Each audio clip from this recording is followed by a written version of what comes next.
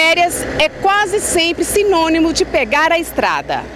E quando o tema é viagem, as preocupações aumentam à medida que a exposição ao risco cresce também.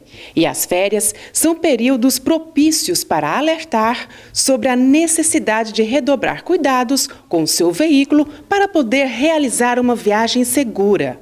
A causa de muitos acidentes que acontecem nas rodovias são por falhas mecânicas. O veículo, ele tem que estar com suas condições de segurança em dias. A questão de equipamento obrigatório, como pneu, é, a suspensão do veículo, que é muito importante, deve ser feita uma revisão antes de sair de uma, de uma viagem. A, o pneu, por exemplo, você sair para fazer uma viagem muito longa com um pneu que já vem, já vai chegar num ponto de desgaste dele que já deve ser trocado, às vezes você vai fazer essa viagem achando que o pneu vai ter condições de ir e voltar com segurança e não vai. Você pegar uma chuva no meio de um trecho, que às vezes você vai para um lugar mais longo e vai enfrentar uma chuva, você pode sofrer uma água-planagem pela falta da, das condições do pneu de é, tirar essa água de cima do pavimento e sofrer uma água-planagem e se envolver num acidente. A questão dos limpadores de para-brisa é muito importante também, que às vezes você só vai lembrar que não está limpando corretamente na hora que tiver a chuva. O sistema de iluminação é muito importante, fazer uma revisão para a questão da seta, da iluminação traseira ou os próprios faróis. Às vezes você vai transitar à noite e está com um farol queimado e você não percebe e vem a queimar o outro farol, você vai ficar sem iluminação é, nesse período. Pode se envolver no acidente também.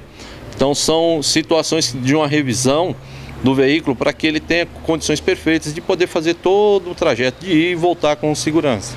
Por mais que você confie na atual situação em que se encontra seu veículo, uma ida até uma oficina de confiança vai lhe trazer tranquilidade e uma viagem bem mais segura.